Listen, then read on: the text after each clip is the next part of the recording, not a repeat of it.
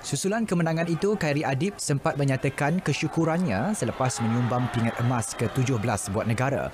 Meskipun kejayaan itu diraih selepas lawannya dari Indonesia dikenakan penalti 10 mata, dia tidak menganggap situasi itu sebagai menang nasib. Saya tak tahu nak cakap sana tapi saya nak kata tak lawan, saya lawan juga.